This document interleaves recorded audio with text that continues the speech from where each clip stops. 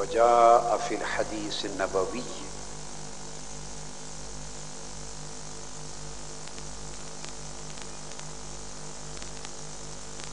अन उस्मान बन हुनैफ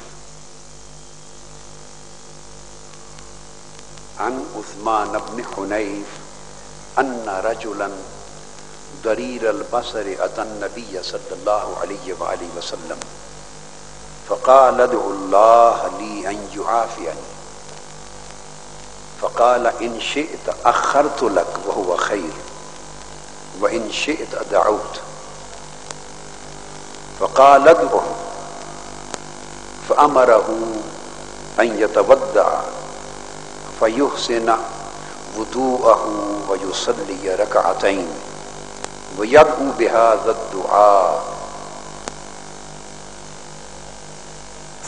सुम्मा जाकर सैदना रसूलुल्लाह सल्लल्लाहु अलैहि वसल्लम कलिमात दुआ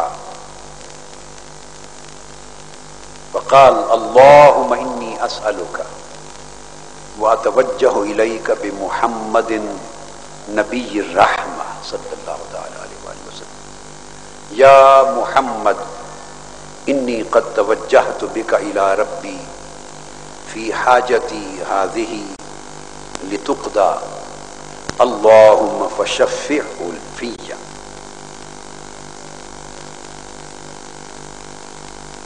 रवत तिरमजी हाजल हदीस बिसनदही वन नसाई वबन माजा वहाजल लफ्ज लहू वहा कज़ा रवल इमाम अहमद फ़ी मुसनदही वक़ाल अबू ईसा अतिरमजी हाजा हदीसन हसन सही वक़ाल अबू इसहाक हाजा हदीस सही वक़ाल हाकिम हाजा हदीस सही अला शर्त शेखैन वक़ाल हैसमी हदीस सही वहाकजा जाकर अलबानी हाजा हदीस सही वफ़ी रिवायत अहमद अहमद काल फ़फ़ाल रजुल फ़बरा और कमा काल मुहतरमुल शहजादगान गौसुलवरा हज़रत मुहतरम पीर तरीकत सैयद आज़म अलमूसवी अलजीलानी दामत बरक़ात और ख़तीब दक्कन मुबलग हिंद पीर तरीकत हज़रत अल्लामा पीर सैद काजिम पाशा अलजीलानी अलमूसवी दामत बरक़ात और जमी मशाइ उलमाए कराम हज़रत मोहतरम मुकर्रम प्रोफेसर डॉक्टर अशरफी साहिब दामत बरक़ात नुमाइंदा खानवाद आलिया अशरफिया कछोछा शरीफ। हजरात ओलमा खुतबा, मुअल्लिमीन, वाइजीन मुबलगिन मुस्तमीन व मुस्तफ़ीदीन। और जुमला हाजरीन मजलिस। अल्हम्दुलिल्लाह ताला, आज रात हैदराबाद दक्कन की सरजमीन पर, इसका नाम है गालबन कुल्ली कुतुब शाह स्टेडियम। कुल्ली कुतुब शाह स्टेडियम के इस दालान में, वसी मैदान में, हमारी दरस हदीस की सियासता से मुंतखब चंद अहादीस के बयान पर मुश्तमिल। दूसरी नशस्त है। कल ताला दारुसलाम में जलस आम होगा। कल के बाद इंशा ताकि बहुत वसी पैमाने पर अवाम में हैदराबाद दक्कन और इस सरजमीन के उशाक गुलामान मुस्तफ़ा मज़ीद इस्तेफादा कर सकें। और बाद अजान जैसा कि मैंने अर्ज़ किया, तीन और चार को शायद ये हफ़्ता और इतवार बनेगा। फिर दो रातें दर से उसूल हदीस पर होंगी। वो सिटी कन्वेंशन सेंटर में।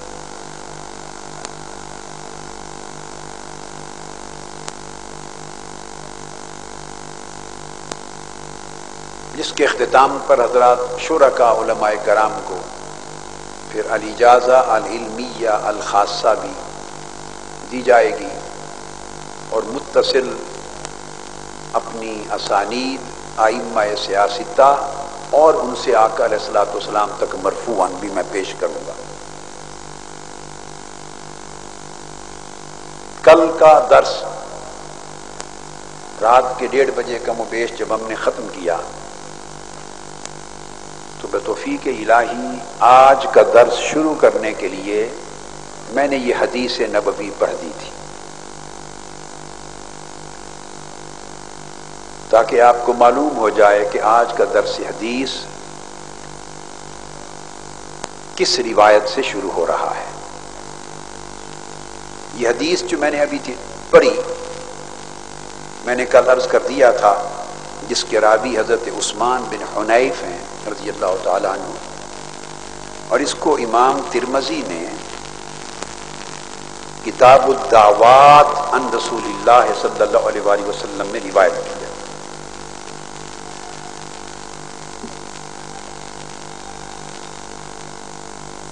इलावा अजी,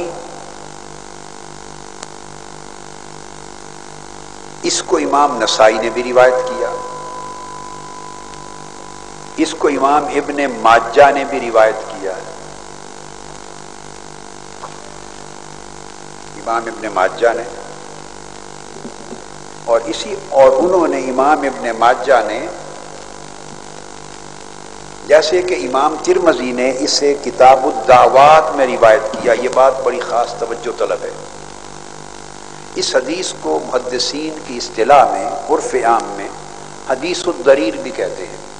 यानी एक नाबीना सिहाबी थे, उस नाबीना शख्स से मुतल हदीस।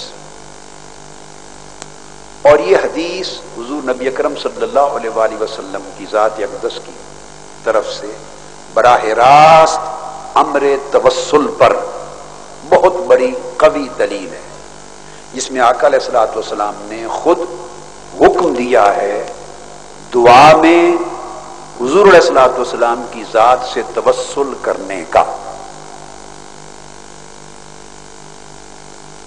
इस्लाम ने हुक्म फरमाया कि अल्लाह के हुजूर दुआ करें मेरे वसीले से और मेरे वसीले से दुआ करते हुए रजूल इस्लाम ने फरमाया कि मुझे पुकारें, निदा करें, मेरा नाम लेकर।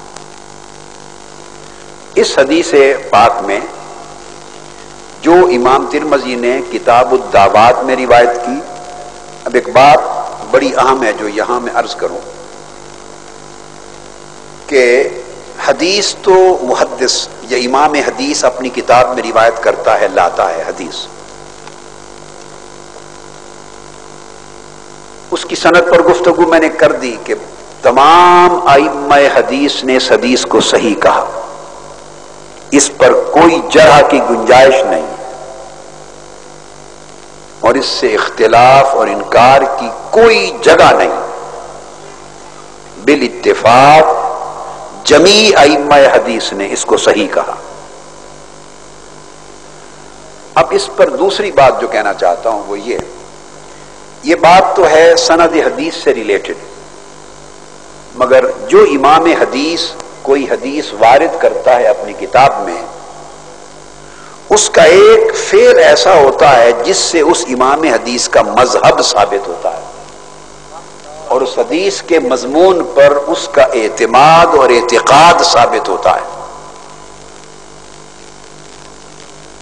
कि वो किस बाप में इस हदीस को लाए हैं।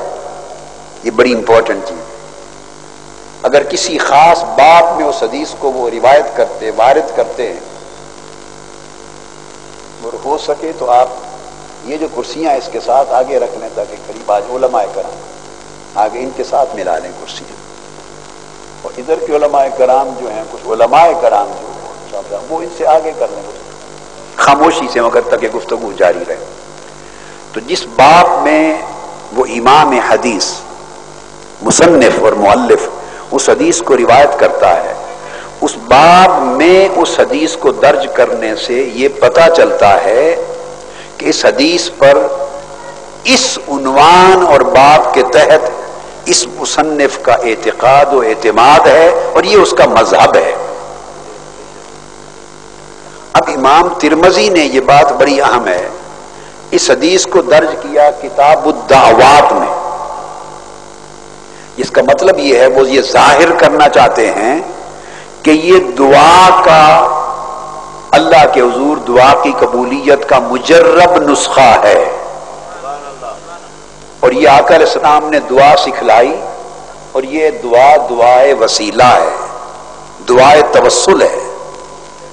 और उनको इमाम तिरमजी का इसे किताब दावात में दर्ज करना, इसका मतलब यह है कि वो ये बयान कर रहे हैं कि जो शख्स अल्लाह के हजूर दुआ करे तो इस्लाम की ये सिखलाई हुई दुआए वसीला हाजात की तकमील के लिए सबसे मुजर्रब नुस्खा। यह इमाम तिरमजी का मज़हब है। अब बड़ी अहम बात, अब इमाम इबन माजा ने भी इस हदीस को रिवायत किया।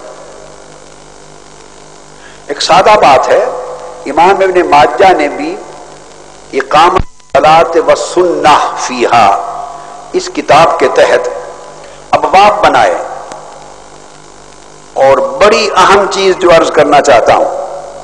मसलन उन्होंने सलात और इस्तारा का बाप कायम किया। इसका मतलब यह है इमाम इबन माजा का कि जब सलात और इस्तारा का बाब कायम करके उसके नीचे जो हदीस ला रहे हैं, एक ही हदीस लाए तो उसका मतलब यह है कि उनके यहाँ इस्तारा करने के लिए सबसे मोतमद और मोतबर और जयद और मकबूल तरीक और सनत से यह हदीस साबित है। उस हदीस को लाए। इसी तरह आगे, बाब माजा अफी सलात तस्बी हिलाते हैं। और इस सलात तस्बीह के बाब में दो हदीसें लाते हैं।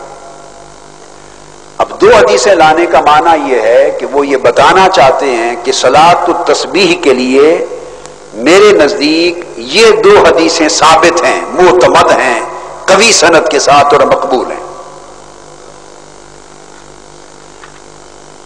इसी तरह, इससे कबल सलात इस्तारा से कब सलात दुहा का बाब लाते हैं, उसमें तीन, चार हदीसें वारिद करते हैं। तो ये आइम हदीस का एक तरीका है। कभी एक हदीस वारिद करते हैं, कभी दो, कभी तीन, कभी चार। अब इन्हीं अबवाब में इमाम इबन माजा एक बाब कायम कर रहे हैं। बाबुल मा जा अफी सलातिल हाजा। सलातुल हाजा का। कि अगर किसी शख्स को कोई हाजत दरपेश हो, मुश्किल आ जाए, आफात और बलियात में गिर जाए, मुश्किल में गिर जाए तो अल्लाह के हजूर सलातुल हाजा पढ़े। और उस सलातुल हाजा की शक्ल में अल्लाह से मदद तलब बाप कायम किया। इस बाप के तहत इमाम इबन माजा फकत दो हदीसें लाए। ये बात समझने वाली। फकत इस बाप के तहत दो हदीसें लाए हैं इमाम इबन माजा। और यही दो हदीसें जो इमाम इबन माजा लाए हैं, ये दोनों हदीसें इमाम तिरमजी भी ला चुके हैं। इमाम तिरमजी ने भी इन्हीं दो हदीसों को रिवायत किया है किताब दावात में। और मैं आगे चल के इसकी तखरीज और भी दूँगा। इसी तरह यही हदीस जिसको हमने तिलावत किया, हदीस तवस्सुल, कि वो सलातुल हाजा में हदीस तवस्सुल को ला रहे हैं। अल्लाह की बारगाह में हाजत तलब करनी है, दुआ मांगनी अल्लाह के हुजूर, और हाजत तलब करते हुए दो हदीसें इमाम इबन हाज, इमाम इबन माजा ने रिवायत की। और इमाम इबन माजा ने जो पहली हदीस रिवायत की, उसका हुक्म नहीं लगाया। यह बड़ी अहम बात है। पहली हदीस, ये हदीस तवसल नहीं। पहली हदीस अलल इतलाक, अल्लाह के